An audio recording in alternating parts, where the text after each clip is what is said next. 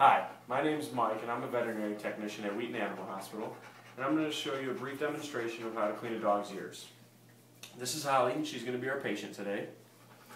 First things first, you'll need some supplies like some ear cleaning solution which you can pick up from your local vet. Some gauze, cotton balls, and Q-tips to help clean the ear. What you want to do first is take your ear cleaning solution, put it directly into the dog's ear, and squirt a small amount down the ear canal. Then gently massage the ear, and this not only flushes out the ear, but this also moistens the ear, making it a little easier to wipe out any of that debris. Then you take your cotton balls, and you simply begin wiping. You want to wipe in a circular outward motion.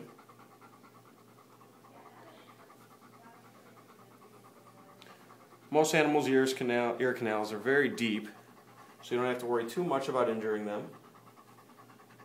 However, you don't want to go too deep. You want to stay in the area that's visible because you don't want to push any of that wax or dirt further down into the ear. Some dogs have hairier ears, which makes it a little more difficult in cleaning the ears, so that's why it's recommended to check the ears once in a while, give them a brushing, perhaps even a little trimming.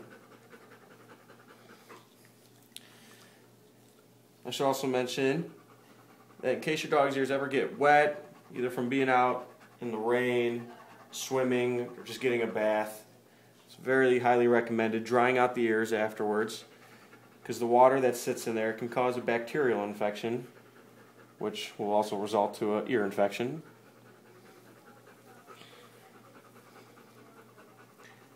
You just continue to do the same thing throughout the ear, keeping an eye on your cotton balls as you go along.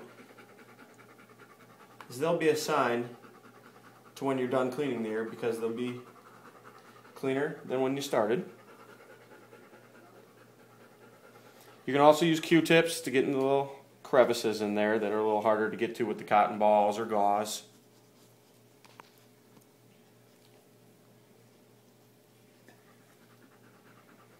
Once the cotton balls are coming out nice and clean like that, that's when you know the ear's clean.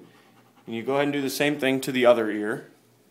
And it's also highly recommended giving a treat to your pal. Just congratulate them when they're done. Better behavior for the next time you do an ear cleaning.